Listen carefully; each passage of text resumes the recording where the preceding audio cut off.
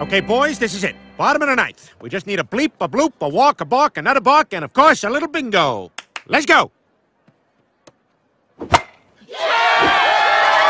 it, boys. Walk off home run. Get out there and tear his clothes off. He just won for us. Get him. Yeah, punch him. Good. Curb him. Okay, now pull his shirt over his head and waterboard him with a Gatorade. Yes, cut him with knives. Good. Burn him with fire. Yes. Way to go, you. All this is happening because you did something.